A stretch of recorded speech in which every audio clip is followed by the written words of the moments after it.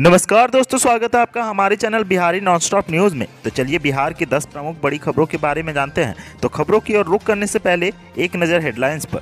BPSC PT का result जारी, आठ कैंडिडेट्स हुए पास। यहाँ देखिए अपना रिज़ल्ट। जल्द जारी हो सकता है इंटर का रिज़ल्ट। टॉपर्स का वेरिफिकेशन समाप्त। पटना में कोरोना की स्पीड बढ़ी। 50 नए केस मिले। एनएमसीएच के दो डॉक्टर भी संक्रमित। बिहार पंचायत चुनाव को लेकर पटना में 4,705 मतदान केंद्र बनाए गए। 11 मुखिया के चुनाव लड़ने पर लग सकती है रोक।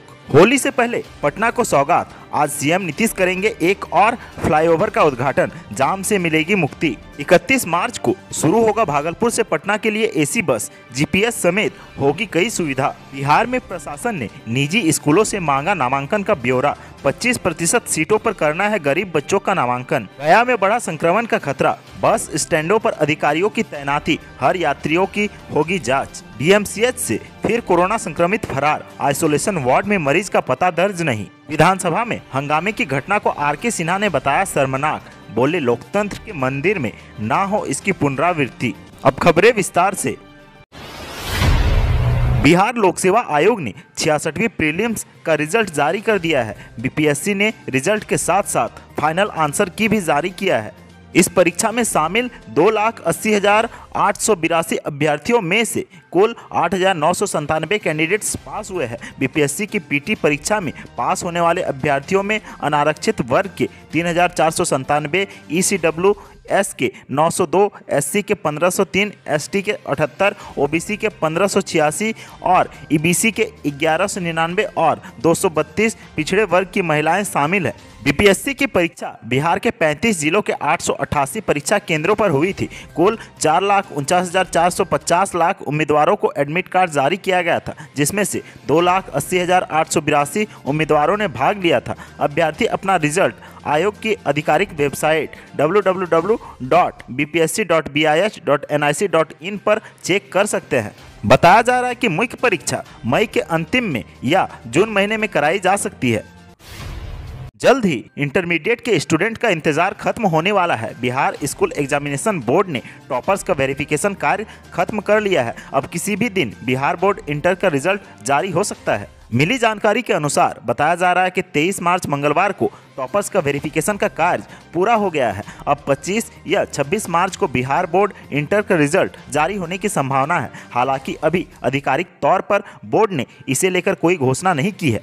बता दें कि कॉपियों की चेकिंग का कार्य 19 मार्च तक ही पूरा हो गई थी। इसके बाद बोर्ड ने टॉपर्स वेरिफिकेशन का कार्य 23 मार्च तक फाइनल कर लिया। आपको बता दें कि टॉपर्स की जाँच के लिए हर साल बोर्ड टॉप 10 हाई स्कोर पाने वाले टॉपर्स का वेरिफिकेशन करता है। अब 25 या 26 मार्च को रिज़ल्ट जारी होने की संभावना है। बता दें कि बिहार बोर्ड इंटर की परीक्षा एक फरवरी से तेरह फरवरी के बीच आयोजित की गई थी, जिसमें तेरह दशमलव चौरासी लाख स्टूडेंट्स शामिल हुए थे।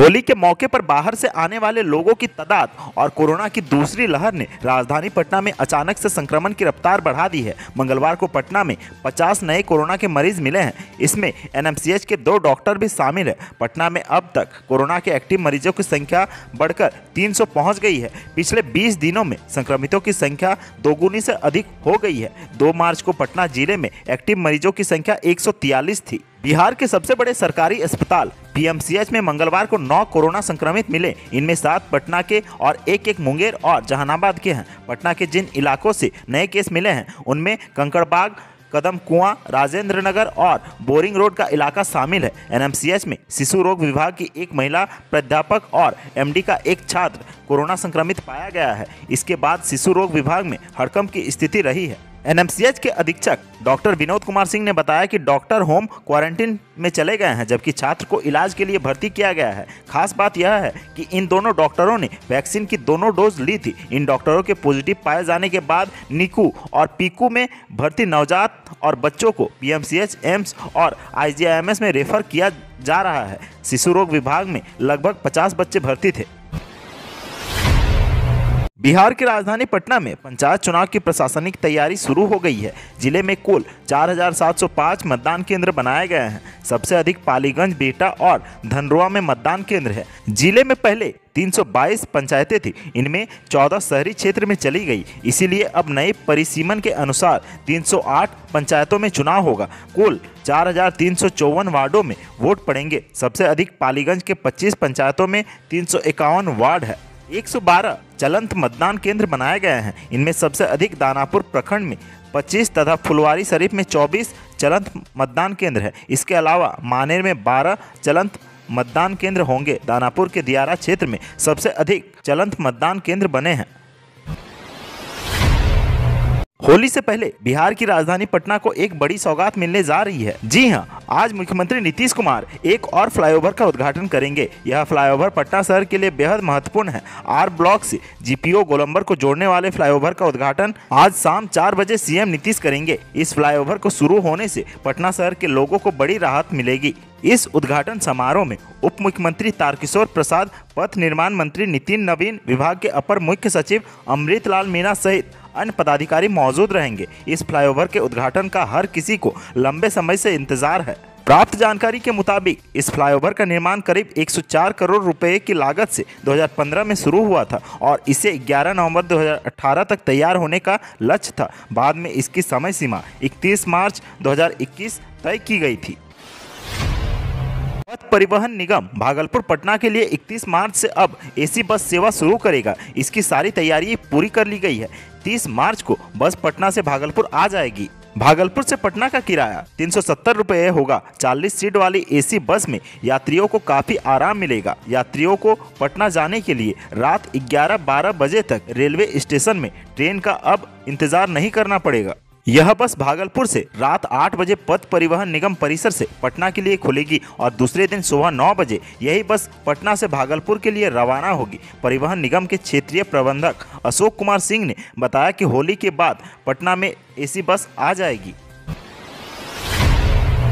बच्चों की मुफ़्त व अनिवार्य शिक्षा अधिनियम 2009 के तहत निजी स्कूलों को अपनी 25 प्रतिशत सीटों पर गरीब बच्चों का निशुल्क नामांकन व पठन पाठन कराना है। ज़िले के निजी स्कूलों में इस कानून का पालन नहीं किया जा रहा है। निजी विद्यालयों की ओर से आरटीआई का अनुपालन नहीं करने के संबंध में बिहार बाल अधिकार संरक्षण का आयोग अभिभावकों की कई लिखित शिकायतें मिल रही है। आयोग ने स्वतः संज्ञान लेकर जिला शिक्षा कार्यालय को पत्र लिखकर कहा है कि आरटीआई का पालन सुनिश्चित हो। नामांकन वर्ष 2021-22 में अपने ज़िले में संचालित सभी प्राइवेट स्कूलों में 25 प्रतिशत सीटों पर आरटीई एक्ट की धारा 12 सी के अंतर्गत गरीब परिवार के बच्चों का नामांकन कराएँ। नामांकन की रिपोर्ट बिहार बाल अधिकार संरक्षण आयोग को 28 मार्च तक भेजने का निर्देश दिया गया है। देश व राज्य की कोविड 19 के बढ़ते संक्रमण को देखते हुए डीएम अभिषेक सिंह ने मंगलवार को आदेश जारी करते हुए कहा है कि राज्य के बाहर यथा महाराष्ट्र, गुजरात, पंजाब, उत्तर प्रदेश व दिल्ली से बसों के माध्यम से आने वाले यात्रियों का बस स्टैंड पर उतरने के साथ कोविड जाँच कराना आवश्यक होगा। डीएम ने सिविल सर्जनों को निर्देश दिया है कि ज़िले के छह बस स्टैंडों पर राज्य के बाहर से आने वाले यात्रियों का शत प्रतिशत कोविड 19 रैपिड एंटीजन जाँच के लिए मेडिकल टीम की प्रतिनियुक्ति करते हुए जाँच करना सुनिश्चित करेंगे। जाँच में जो व्यक्ति संक्रमित पाए जाएँगे, उन्हें स्वास्थ्य विभाग द्वारा निर्गत एसओपी के आलोक में आवश्यक कार्रवाई के लिए भेजा जाएगा। उन्होंने निर्देश दिया है कि वैसे यात्री, जिनके पास 24 घंटे पूर्व का रैपिड एंटीजन जाँच, बहत्तर घंटे का पूर्व आरटीपीसीआर का जाँच प्रमाण पत्र उपलब्ध हो और जिन व्यक्तियों को कोविड नाइन्टीन वैक्सीन की दोनों डोज लगाए जाने के बाद प्रमाण पत्र व दूसरा डोज लगाए जाने की अवधि चौदह दिन पूर्व कर लिए हो, वैसे यात्रियों को कोविड 19 का जाँच से मुक्त रखा जाएगा। डीएमसीएच के आइसोलेशन विभाग से कोरोना संक्रमित एक बार फिर से भाग निकला है। अस्पताल में मरीज़ का पता तक दर्ज नहीं है। जानकारी के अनुसार इसके पूर्व भी दो मरीज़ इस विभाग से भाग निकला था। बताया जा रहा है कि 13 मार्च को चिकित्सकों ने राउंड के दौरान पाया कि दो मरीज़ वार्ड में नहीं है। मरीज़ सिंहवाड़ा व रतनपुर निवासी बताया जा रहे हैं। चिकित्सकों ने अस्पताल रजिस्टर पर मरीजों की उपस्थिति के मद्देनजर जानकारी अंकित कर दी। बताया जा रहा है कि अस्पताल प्रशासन की सुरक्षा व्यवस्था में चूक के कारण इस तरह की घटना हो रही है। वार्ड के चारों तरफ़ का परिसर खुला हुआ है। इस परिस्थिति में कोई भी व्यक्ति अस्पताल में अनाधिकृत रूप से प्रवेश कर सकता है। साथ ही साथ कोई भी मरीज़ आसानी से वार्ड से भाग सकता है। विधानसभा में हंगामे की घटना को बीजेपी नेता आर के सिन्हा ने बेहद ही दुर्भाग्यपूर्ण और शर्मनाक बताया है। आर के सिन्हा ने कहा है कि लोकतंत्र के मंदिर में इस घटना की पुनरावृत्ति नहीं होनी चाहिए। आर के सिन्हा ने कहा कि कल जो कुछ भी हुआ, बिहार विधानसभा में माननीय सदस्यों के द्वारा हुआ, वह अत्यंत ही दुर्भाग्यपूर्ण और शर्मनाक है। ऐसा बिहार में पहले कभी भी नहीं हुआ था। मैंने तो 1966 1967 का समाजवादियों का भी वह काल देखा, जब संयुक्त विधायक दल का सरकार थी। तो आज की सुर्खियों में बस इतना ही। बिहार से जुड़ी खबरों के लिए सब्सक्राइब करें हमारे चैनल को और साथ ही साथ अपने दोस्तों और रिश्तेदारों में शेयर ज़रूर करें। धन्यवाद।